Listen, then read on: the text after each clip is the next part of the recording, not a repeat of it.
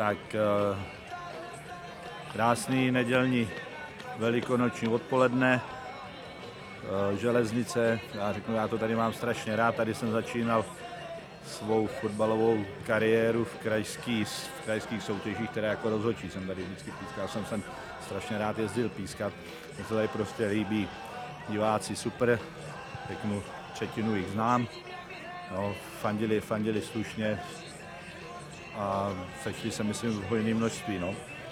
Co říct fotbalu? Eh, Věděli jsme o železnici, že je silná ve standardkách, eh, takže jsme si pustili v pátek nějaký video, jak to házejí, jak to hrajou.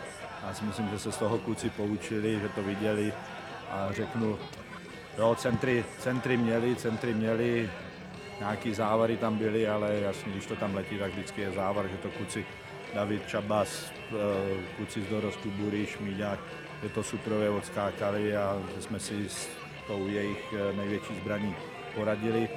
Fotbal, řeknu, byli jsme trošku, myslím, na míči, jakoby fotbalovější, snažili jsme se víc kombinovat než železnice, eh, ale hm, řeknu zase, žádnou velkou šanci jsme si taky asi nevytvořili.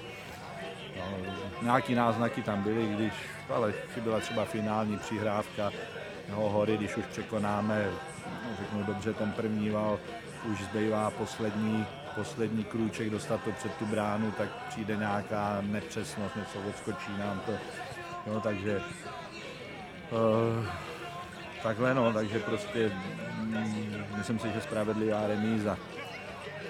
Myslím si, že divák si to užil, myslím, že to bylo trošku víc takticky svázaný, než asi si to na A třídu zaslouží.